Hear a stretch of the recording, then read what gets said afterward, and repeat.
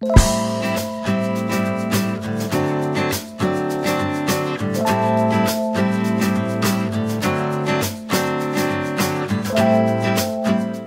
uh, good afternoon, everyone. Um, so in today's uh, uh, talk, I'm going to talk about uh, the mobile strategy for your uh, enterprise, how to build your uh, strategy for your enterprise. Okay, so this is the agenda. Um, so we're going to see about the enterprise mobility challenge um, and how to frame your enterprise strategy, how WSO2 tools can help you to build your enterprise mobile strategy, and um, so in fact, you want to know what is our mobile strategy, what we are doing in WSO2. Okay, so you know about, uh, like, I don't have to tell you about uh, the smartphone penetration. So it's flooding the market.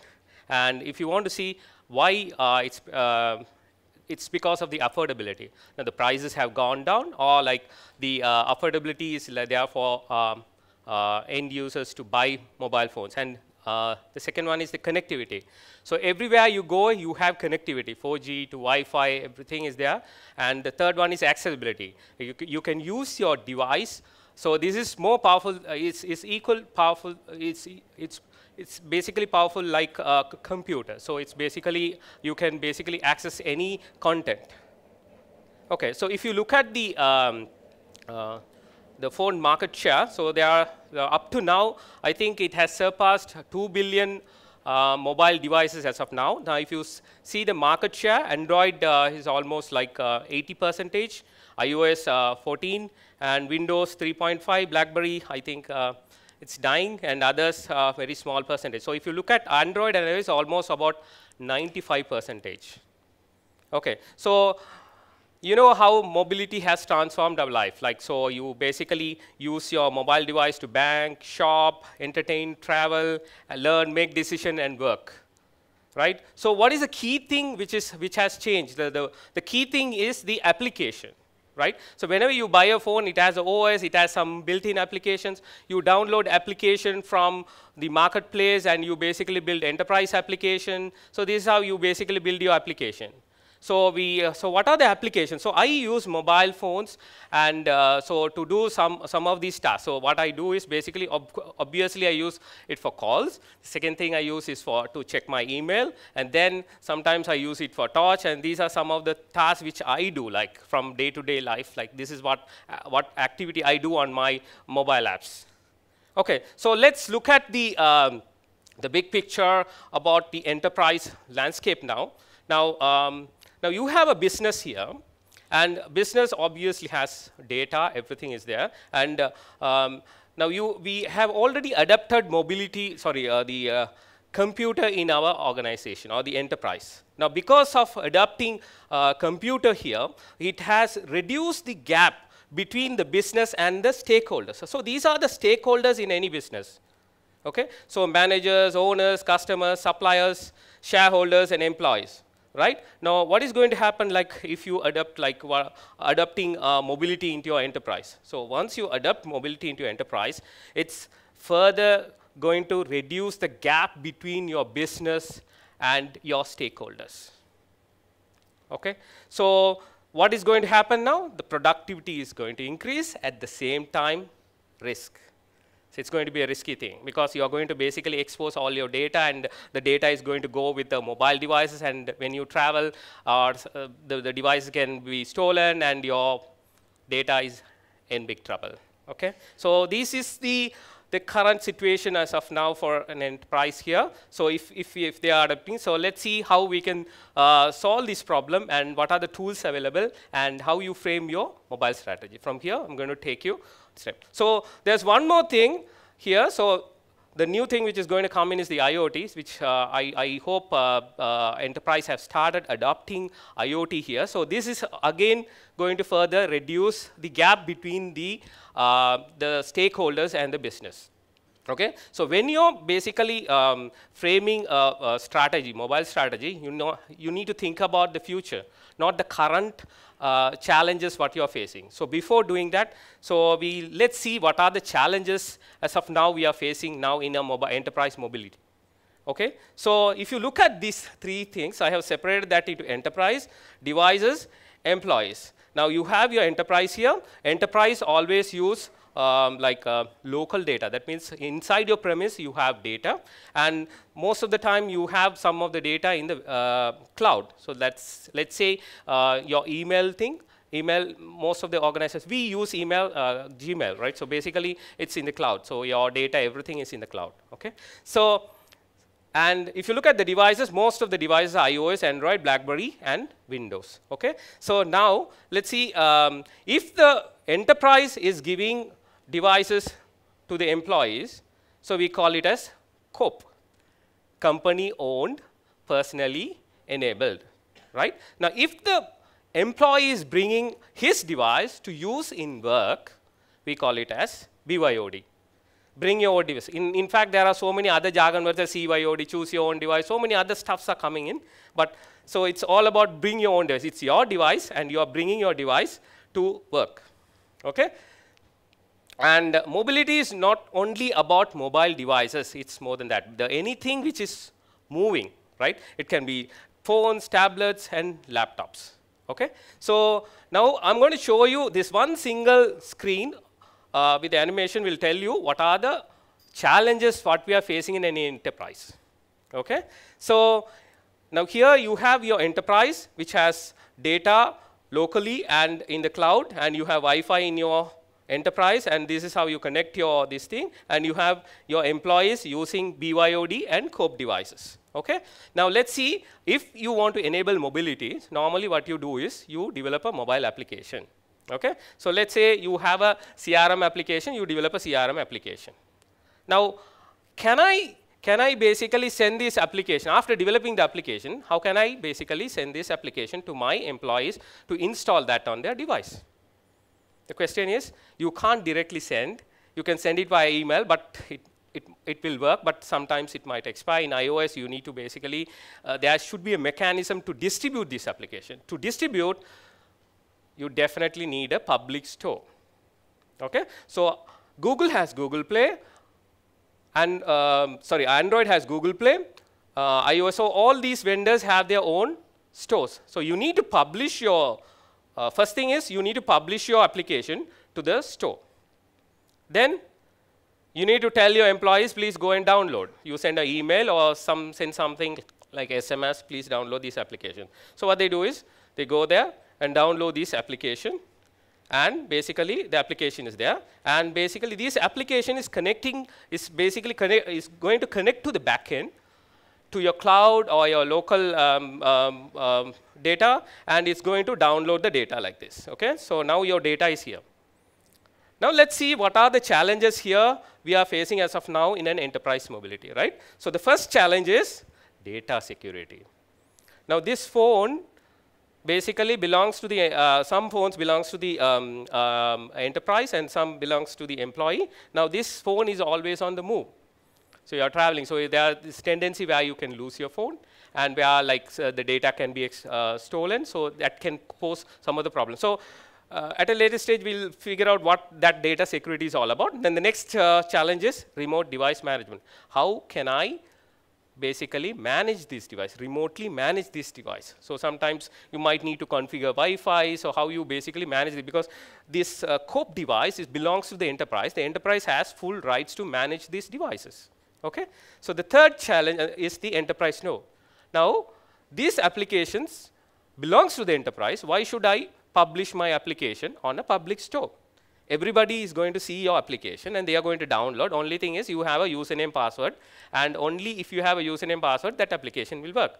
Now you're exposing your application to the outside world and basically uh, uh, so this is how the ecosystem works like now you have to publish your application in the public store right and the fourth challenge is enterprise application development and management how are you going to do this development so there are so many platforms ios android Windows. So many platforms are there. So how do I do this? This is a challenge.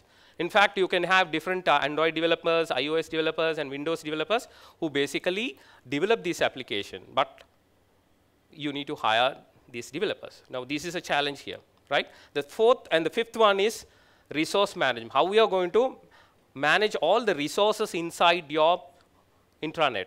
the Wi-Fi, and so many other printers, and all these things. These are the challenges as of now the enterprise mobility is facing. Okay.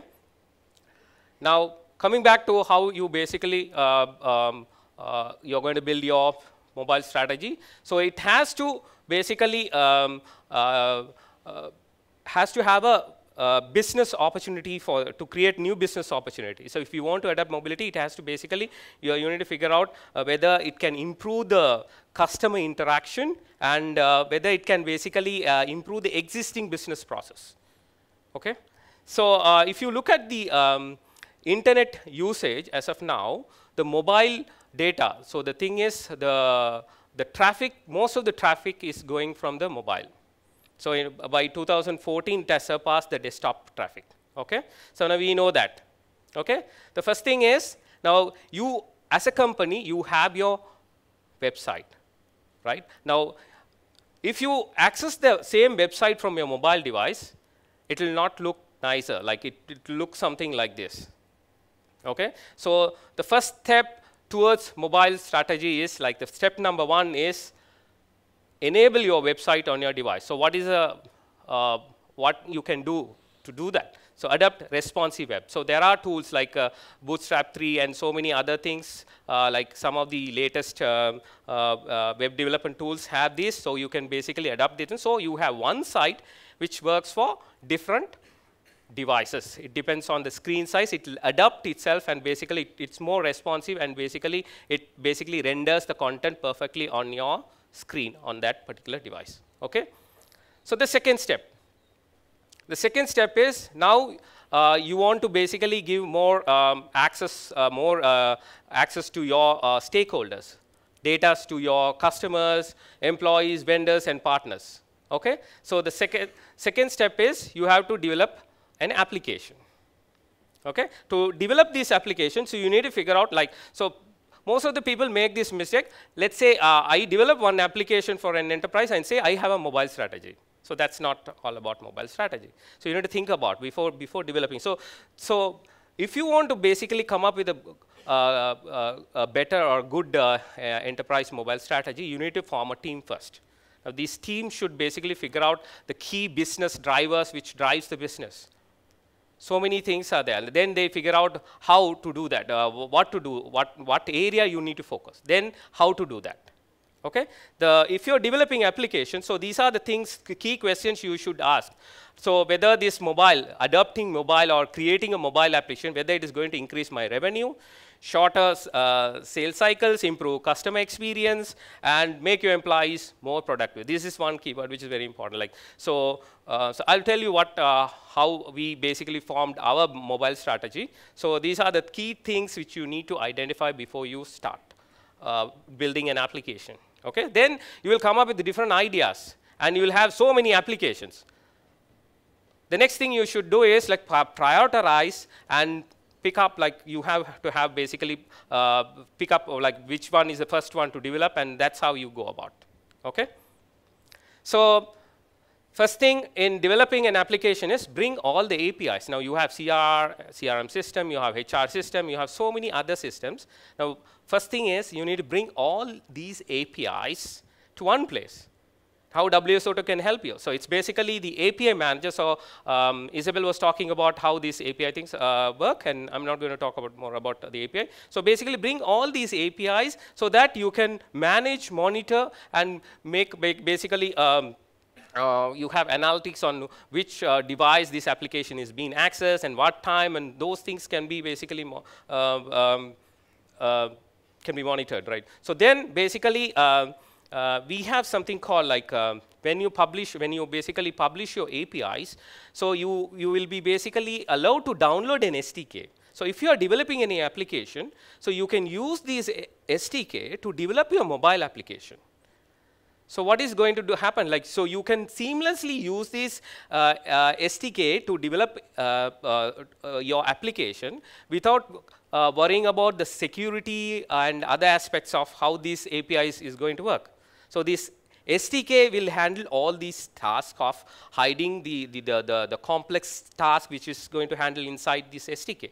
Okay, so which will be so we are like we, which is going to come very soon. So maybe next month uh, or maybe uh, uh, end of this quarter, we'll be basically we are working on this. Okay, now this is a very very important question. So whenever you go and um, ask your um, uh, IT managers how you are going to develop applications. So that's the biggest problem here. So let's see, this is a very important thing. Choose your mobile development methodology. How to basically develop application. Now there are five different ways to develop mobile application. So what is the first one? Responsive. That means you don't develop any application. What you do is you make your application uh, responsive. So that basically, uh, so I was talking about the responsive thing. So that it adapts to your screen and basically that's how it works. Okay. The second one is hybrid web. What that is hybrid web means. So hybrid web is nothing but you develop any application, you write your logic in HTML and JavaScript, and you're not writing in a native uh, uh, code. So you have a browser sort of thing, a web view which is embedded inside your application, which renders your logic everything in a um, in the inside the HTML page itself. Only thing is it looks like an application. You can basically publish this application, you download it, but it, it basically looks like a web page. So when you select this one, it will basically highlight everything. Okay? So you must have heard about Cordova, PhoneGap. So, this is, these are the two technologies available to do this hybrid um, uh, web. So third one is mobile web. What is this mobile web? So if you look at uh, Safari, um, uh, mobile Safari which comes with iOS, they have special extensions where you can develop applications so that it looks like a native uh, application on a Safari phone itself. It doesn't have an address bar, it basically looks like a, so only thing is you basically need to go to a browser, type that URL, then after that it looks like a native application, but still it is a web application, right? So it's running inside the web, okay? The fourth one is hybrid native um, hybrid native. What is this hybrid native means, like hybrid native? So, so the thing is, you develop your application in C sharp, okay? And uh, uh, basically, you can convert that to Android code, native code, and iOS native code. So you have uh, tools like Titanium, and which basically you can uh, write your application in um, C sharp and uh, there's one more tool Appcelerator. So which uses JavaScript. You write your code in JavaScript but it compiles to native code. Okay? So th so the last one is native apps. Of course you have to hire an Android developer and it has to work uh, like you have to develop that code in uh, Android. The other one is iOS. You have to develop your code in uh, C Objective C or um, uh, Swift the new language. Okay? Now um, as an organization or an enterprise, now how do you decide what is the best uh, methodology for me to develop a mobile application? So this is the biggest problem. So whenever I ask, uh, like uh, whenever the customers comes in and they ask, like, uh, so shall we go with the native? Uh, so most of the time they go with hybrid web. Yeah, why not? Like we can easily develop and it will run on Android and iOS and Windows. It's very simple, something like that. So there are key factors or key indicators which helps you to identify which is the methodology which your organization is going to use. So what are the key factors? Okay, single code base. Let's say you want to have one single code base and you want to maintain only one single code base and uh, basically you want to develop this application. If your application is a basic application, you develop, so these are, the, so if you identify that one, definitely you'll go with uh, like uh, hybrid web. Sometimes you might uh, think about distribution. I don't want my application to be published on a public store right? So I want my application to basically um, um, uh, on a web thing itself. So you go with a responsive web. Likewise, developers availability. So you have Android developers and you, you in your organization you have only web developers. So when you have web developers, go with um, hybrid web uh, or what any other stuff like uh, thing. And if you want to go with really with a speed and user experience and those stuff, definitely you have to go with a native apps approach. Okay, so the third step is publishing the apl application. So, um, so this is your application. Why do you want to publish your application on the store? So what you can do is uh, you can basically use our uh, tool, which is the App Manager, which basically enables you to uh, publish application, and it supports multiple platforms. So you can publish iOS, Android, and uh, even web applications. Everything is supported, multi-tenancy, SSO, everything is there. So it's basically the only thing is um, uh, when you download, basically you need to enable uh, like uh, untrusted, something like that. So these are the uh, uh, drawbacks which is there. So, but only thing is uh, you have one single store and it's your store which is basically available and which you can download. Okay. So next for next step, next one is like how do you allow BYOD in COPE? Okay. So thing is, I'm more concerned about my data. I want my data to be secure, uh, more secure, and it has I also uh, maintain the privacy of the end user. So I don't want uh, to track the uh, employees' uh, data and uh, take their photos and something like that. So privacy, and I want my COPE device to be managed. Okay. So if you want all these things, you need to go, so before, before we go into this one, you need to think about what is data security. Now I'm talking about security, what is data? So where's the data? What is the data basically? So let's say in your mobile phone, you're accessing an email. The email might be having some attachments which is uh, like uh, sensitive, which might contain some sensitive information okay? At the same time, you, you might be uh, accessing some HTML pages, which are some cookies, and it's more sensitive website, okay? So, and also you have contacts, calendar, notes, application, which has databases. So all these data are going to sit on your mobile phone right? Now, wh why this data is sensitive? Because it might basically have an adverse effect on your uh, enterprise if it is it is exposed outside, right? It can have salary details or it might have uh, high impact if it goes to the wrong person. So how it can be compromised? Device can be stolen or it can be data can be leaked or malicious app stealing the data. So who can comprise? Employees within the organization and employees like uh, there are like uh, competitors who can basically um, uh, steal the phone and steal the data, okay?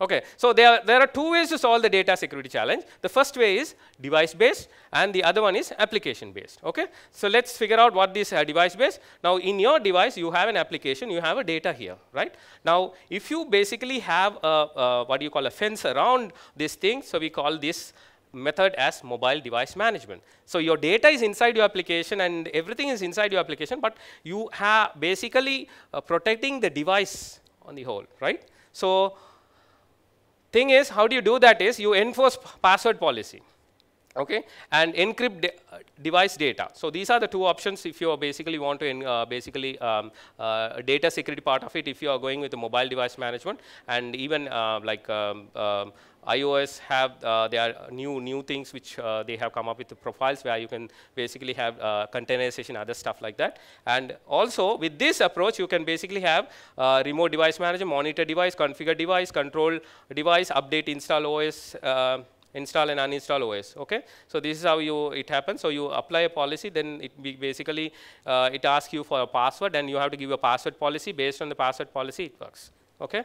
So the problem with this approach is no data, no, uh, so no granular control of the sensitivity. Your data is inside your application, but you are basically uh, controlling your device. Okay. The other one is privacy issue. So the employees might think, okay, so uh, this uh, he might basically the the employer might basically steal his personal data, or basically he can see all this personal data and the location, right? Okay. The other one is apps in the data, apps in the device. So there are three different types of application in your mobile device. One is the vendor apps, the apps from the public store, and the ent enterprise apps.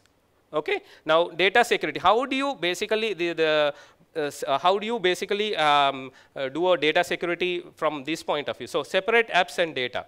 Now, how do you basically, um, so you have your application inside your, inside your mobile device, and you want to separate this application out along with the data. So how do you do that? So this is something, a technique called containerization. So where basically, um, you basically separate the application and the data in a separate area inside your mobile device. Okay? So this is called mobile virtualization. Okay? So the other one is uh, you develop your mobile application and it's an HTML thing where you basically go through the browser and that's how your application always in the backend. Okay, so only thing is uh, uh, when it is cached and uh, other other other things are like that. And the other technique is desktop virtualization. You would have used like um, remotely logged into another machine. So likewise in mobile also you can basically log in using a, a remote desktop and basically log into the. Only thing is the screen size is the problem. If you, if it is a tablet, then no issue. Okay. The other approach is the uh, the other one is like the uh, application side of. Now you have your data and you have your application here. If you put a fence around this application and you have a control, something like from the backend, you can basically have control of your mobile application by locking the application, deleting the data, all these things are under the control of the enterprise. Now we call this technique as mobile app management. So the data is protected, application can be controlled remotely. Okay, so MAM gets a step closer to managing what you care about. Okay? So the techniques for using MAM is, you, before you develop your application, we give you an SDK. So you use that SDK to develop your application. So all the data which you are going to basically store in the uh, application is going to be encrypted and only decrypted at the time of like uh, when you are using it. Okay? So these are the core features. So to, to basically uh, have data security, remote uh, um, device management, and privacy sort of things, so you can use WSO2 EMM tool, which can basically uh, solve this problem what you are facing in the enterprise. Okay. So what is WSO2 uh, internal mobile strategy? So basically, uh, what we did was like um, we want to improve the productivity. So currently, we don't have Wi-Fi access to mobile devices. So we have blocked it. We are, based on WPA2 enterprise. Okay. So what we have done is like um, to allow um, secure Wi-Fi connection to all mobile devices. Okay. So and the, the next thing is every team ha has come up with their own ideas and they have developed. Uh, they want to develop application, but the problem is you don't have a centralized uh, mechanism to develop all these application right? So this was a challenge. So then we figured out how to do this. So we initially formed a team and we framed a policy and we came up with these things. Allow Android, iOS, Windows device, block any rooted device or jailbroken device, allow maximum of five device per user, allow BYOD COPE device with the different policies, no control of the privacy and beyond. So we came up with three profiles. One is you can basically uh, um, enroll your device to EMM and once you enroll, you, you are given Wi-Fi access okay and if you're like uh, so which has only wi-fi profile that means you it will not control any data it will basically allow you so at the time of installing your application you can see the permissions only wi-fi and other stuff okay so let's see how this works. Uh, this is a uh, currently implemented, so we'll be launching this uh, in couple of weeks. So this is how it works. Now you have a mobile device, you don't have internet connection, and uh, then uh, when you go to Google, so it, it is not working. So let's go through this video. So here you select your Wi-Fi network. So you enable Wi-Fi and you select a WSO2 mobile, right? So what happens is everything is automatic now, right? So then you select your Wi-Fi and then automatically the, uh, because you have selected, it goes to the EMM. So even though you have typed google.com, it goes to the EMM, then it goes to this page. There you have three profiles. My device only Wi-Fi, so you basically click that one and it downloads the agent. So everything is automatic. So now it asks for, so it asks for permission, only Wi-Fi access is uh, enabled. Now it is, uh, the good thing about this uh, application is, now you know about uh, captive portal, right? So you log in, basically you use your credential, then after that it expires after some time. And then again when you log in, you have to uh, enter your credential. But here in this one, only at the time of registration, you have to put your username and password. Then after that, so next, uh, it expires uh, 24 hours. Then after that, when you come, automatically it will basically, uh, like when you basically type your whatever the URL, right, what happens is it invokes the application at the background and it enables, it checks the, uh, the, the session and basically it connects with the backend and then basically gives, allows you access to the internet. So this is how it works. So with one click of a button after you type your username and password, so basically it enables internet access. So uh, we need to have a separate session on how this thing works, like how internally how we have implemented it. So if you want to know more about this one, maybe after the talk you can basically discuss. Okay, so that's it. So your Wi-Fi is enabled and you can go and use your internet. That's it. Only one time username and password. That's it. Then after that, you come uh, like next day, right? If you are in a captive portal, it is uh, definitely going to ask your username and password here. It basically what happens is when you type your URL automatically since uh, the, the, the WLAN basically redirects uh, to the application which is sitting on your mobile device and that will be running in the background and it will enable internet access to you, your, your user credential basically and then it allows you internet, okay, internet access, okay. So the next one is the mobile uh, application development of it. So this is basically a life cycle, mobile application life cycle development platform. So what, what we are currently doing is we are basically, if you, if you are in HR and you want to develop a mobile application, so you go there and you basically create a project. So once you create a project, a repository is created. So basically, you don't have to create a repository. You basically upload uh, the new, uh, whatever the uh, source code into your whatever the uh, uh, the project. Then what happens is and you basically subscribe to whatever the apis uh, say let's say hr then you basically go there and subscribe to all the uh, apis related to hr and then you invite the developer then basically you can use whatever the IDE you have. So it can be uh, Eclipse or, so this is basically an Android development here. So then once your application is uh, developed and you basically uh, update or basically commit your code. So once the code is committed, then basically um, uh, it is built and basically it basically publishes your app to the testing store. Okay. Then the QA team will basically uh, test this application and basically what happens is, uh, once the test is being done and it's been approved by the project manager, it goes to the production store. And then what happens is, through the MDM, it basically installs the application to the respective um, uh, mobile devices based on uh, the, the roles or based on uh, uh, how you are going to create your application or what application you are de uh, developing. Then after that, you use your MAM to basically uh, control the application and have the analytics side of application. Okay, so we use um, the, these are the tools which we are using basically. So we have already developed this uh, um, uh, the API side of it and the stores and all these things. Only thing is we have to do the integration and uh, soon we will be uh, having this implemented. So um, uh, all the teams will be basically using this uh, this is a connected uh, development uh, tool which you develop mobile applications. So you, you can see maybe next con uh, you will see more applications inside WSO2. Okay, so we have enough technology. We need to know how to use it. Okay, thank you very much.